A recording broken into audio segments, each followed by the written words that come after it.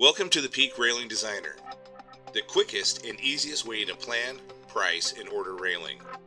Use the designer to easily design custom Peak aluminum railing projects on desktop, mobile, and tablet.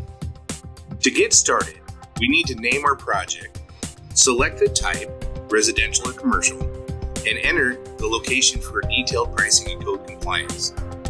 Let's create the project. The system will present a set of predefined projects that represent the most popular railing designs. These are a great starting place in which the design can be adjusted to the exact dimensions of the project.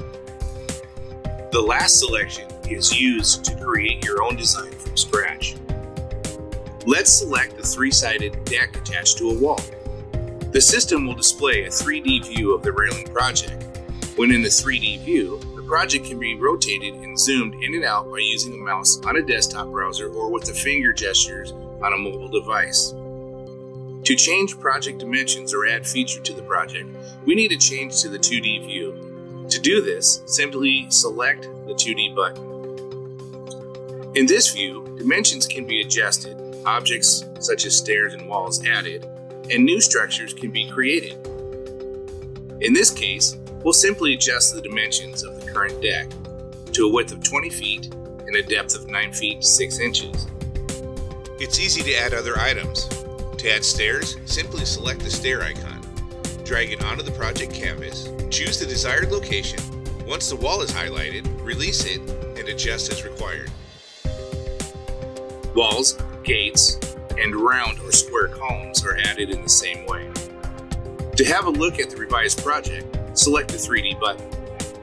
The system will now display the updated project in the 3D view. In 3D view, the color, style, and mounting options of the railing project can be changed. Select the Change Style button to change these options. We'll change the color to white, change the style to 6-inch clear glass panels,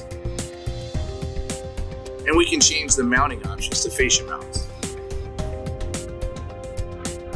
At any point within the 3D view, a detailed parts list with prices can be generated. Select the Generate Parts List button to view the parts list. A detailed list of all components is provided with links to the product pages on HomeDepot.com. The item and total project price are displayed. The parts list can be downloaded printed, or emailed. Thank you for using the Peak Railing Designer.